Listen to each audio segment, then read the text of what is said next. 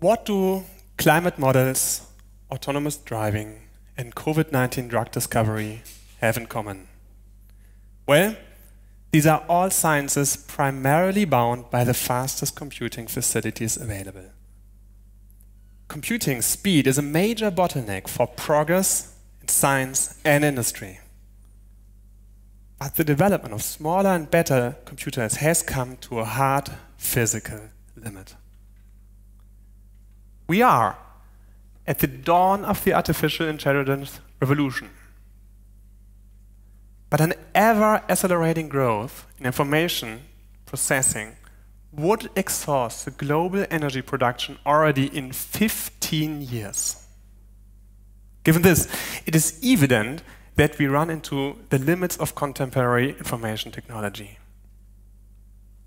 Already today, computing requires vast energy resources globally responsible for the same amount of energy consumption and pollution as global air traffic. The stagnation of technological progress is noticeable basically for everybody amongst us. I recently bought a new notebook in order to replace my 10 years old one, and they are roughly at the same speed. Experts call this the end of Moore's Law. Moore's Law was a prediction in the 1960s that the number of little switches called transistors on a microchip doubles every two years. This is an exponential law, and it was a major driver for digital revolution. Today's chips, even the simplest one, run billions of operations per second so you can just imagine billions of little switch changes per second. And here comes the catch. Every single of this switch requires a tiny amount of energy. And this sums up to an enormous amount of energy per processor. And this energy is converted to lost heat. And this is why your computer gets hot. So computing has a fundamental problem with energy efficiency and this problem is not easy to overcome. So I claim there's an answer which is fundamentally different to what we are doing today. We have to compute without flipping that many switches, exploiting the fundamental laws of nature instead. We need a mental shift beyond the digital monoculture in order to open the path to sustainable computing. So here's the thing. I'm a theoretical physicist, and I spent 10 years on studying matter under extreme conditions, interacting with gravity or quantum mechanics. And a few years ago, I stumbled upon a very interesting Gedanken experiment, and this is shown here. So scientists discovered that within a narrow range, black holes and waterfalls have something in common. They can be described with the same mathematical equations. So what is actually the analogy here is that while light cannot escape a black hole, that's why it's called black, a, with, with a narrow conditions, sound cannot climb through the waterfall to the upper basin. So there's an analogy between sound in the waterfall and light in the gravitational system. And this is valuable if you want to learn about black holes, because we cannot create black holes on Earth yet, and we want to study about black holes, and the water laboratory is actually accessible. So we learn about what's happening in the center of our galaxy where there's a very massive black hole just by studying how water behaves.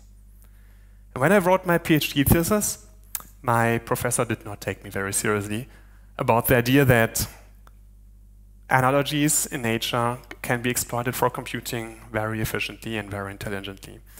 Well, it turns out much of industry actually believes that the discrete and serial aspect of computing has to be augmented with a more continuous and parallel approach. So what is digital computing actually good for? Well, digital computing means computing with digits. with things which can be represented in discrete little packets, like what you do when you uh, check your bank accounts balances, or databases, or word processing. You can just um, imagine every single letter as a discrete amount of information. Or your favorite social network in the internet, perfectly handleable by digital computers. But this is not how the language of nature is written. In science, we deal with relationships which are continuous in time and space. There are no digits. I want to give you uh, a few examples. The first one is the brain. Mankind has spent 100 years to develop smaller, faster, and hotter digital computers. The biological evolution, however, has spent millions of years to develop the human brain. It is a supercomputer with the power requirement of a light bulb. So just to put this into numbers, the fastest computer in the world is currently sitting in Japan. It has 7 million individual computers. Sounds a lot, right?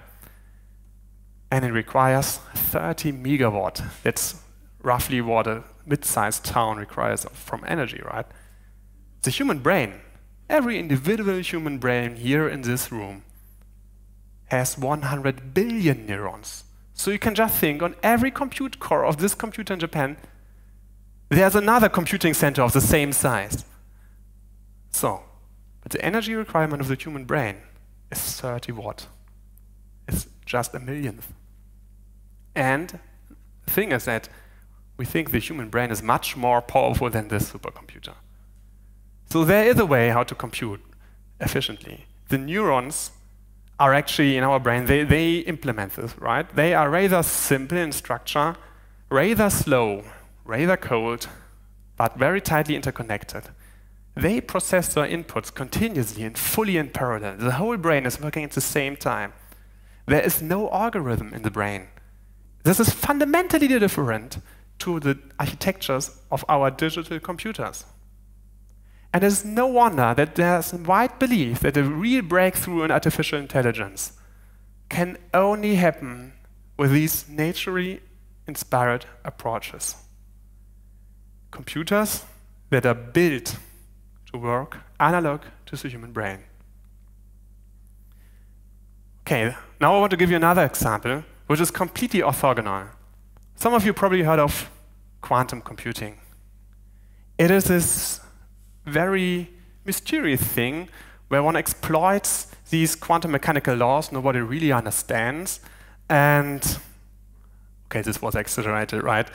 But, um, so it's a technology kind of complex and very prospective, however, because it's really, really be a game changer of how and what we can compute but it is still fundamental research. And it requires laboratory conditions. It is very sensitive to perturbations if you want to build a quantum computer. It's very hard to control, and actually, it's quite energy intensive to create these laboratory conditions. For instance, if you need an ultra cool and vacuumized space we expect the maturity of quantum computing in many years, probably decades. But there are, in fact, analogies available based on much simpler physical principles, which are all around us, such as mechanics or electricity. Today, I want to talk about a proposal which is called electrical analog computers. So what are the common properties of these analog computers? Well, first, they are continuous data flow machines instead of a digit by digit computing.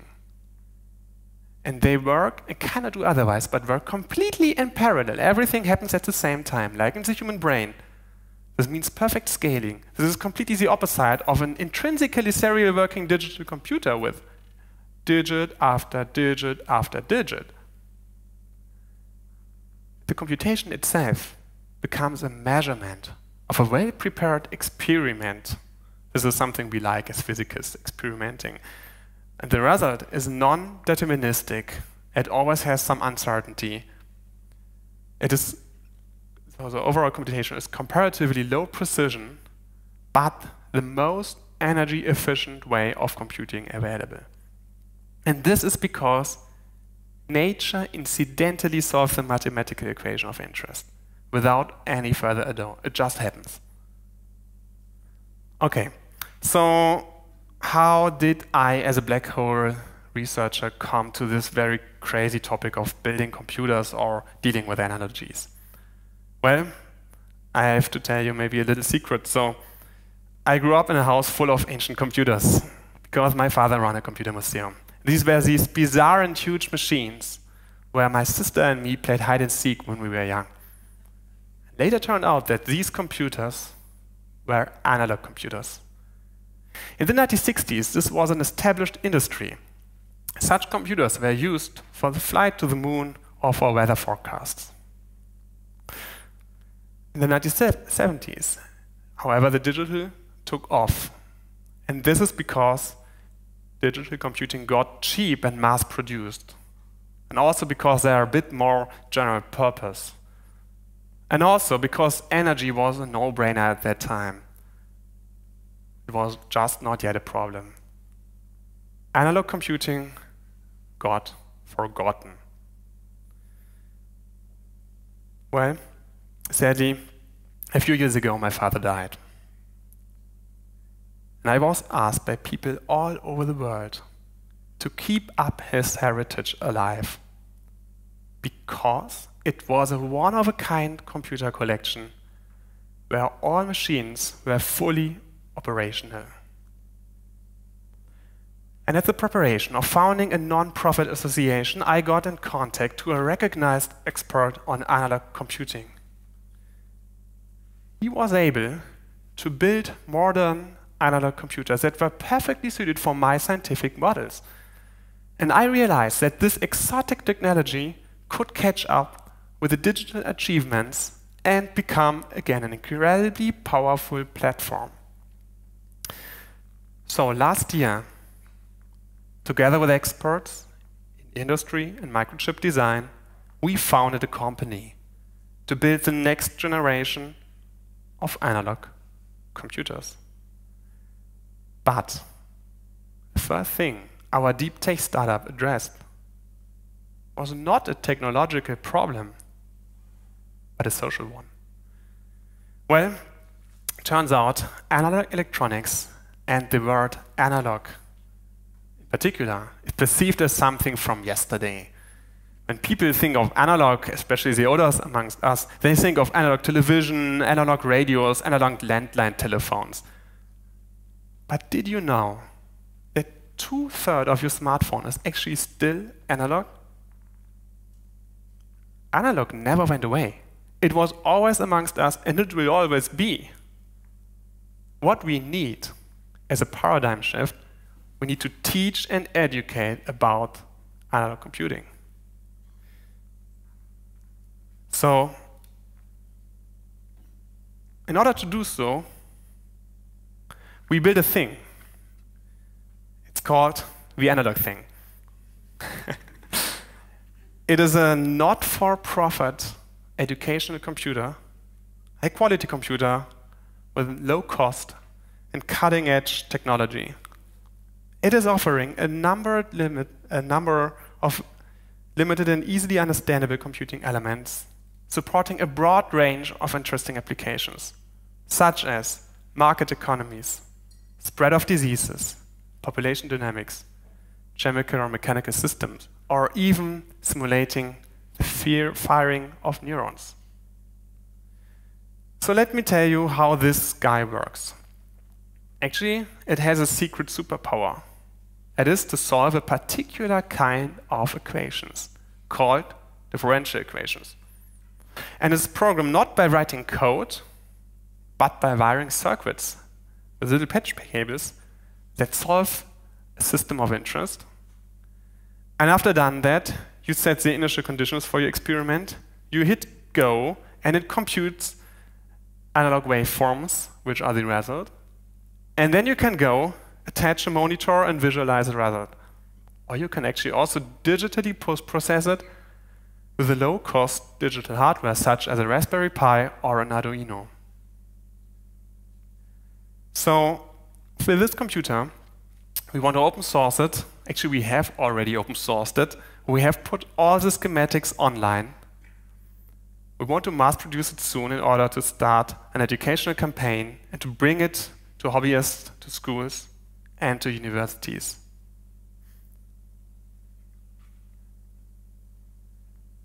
Well, okay, we build an educational computer, but our actual vision is quite a bit larger. So we want to bring this computer on a chip of the size of a thumbnail. We will be one of the first which bring analog computing on a microchip. And this chip will no, have no more patch cables, right? It will be software programmable. And tomorrow's analog computer will be embedded in every smartphone, every notebook, every computer, every smartwatch in the world. They will be coprocessors and accelerators for compute-intensive tasks. And the overall computer will be called a hybrid computer, combining the best of the analog world and the digital world. And the overall computer will have less switches. And then you remember these little switches representing 0, 1? It will have less energy demand. And at the same time have more computational power. So who needs such a computer? Okay, it is interesting for both high-performance computing and ubiquitous and embedded computing at the same time. With high-performance computing, I mean the largest challenges in science and industry, right? Like COVID-19 drug discovery. And we have predicted scientifically that for certain applications, we can replace a 20 megawatt industrial computing center with a 200 watt analog computer. You can just put here next to me. This is really green IT. But what can analog computing do for you? Well, let me give you a few examples. We will be able to build medical implants which are very energy efficient. Think of analog hearing aids or an insulin pump requiring virtually no battery charge. Or think of the Internet of Things the future artificial intelligence-driven personal assistant will be analog. Analog computing is an enabler platform for future products because who knows how the computer will look like in 10 years. I'm coming to the end. It is high time to care about sustainable and green IT. By migrating the computing systems to the analog paradigm across the world, we can reduce our carbon footprint significantly. After the digital revolution, an analog revolution is next. Thank you.